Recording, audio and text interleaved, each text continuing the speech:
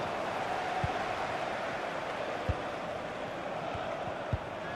Castro.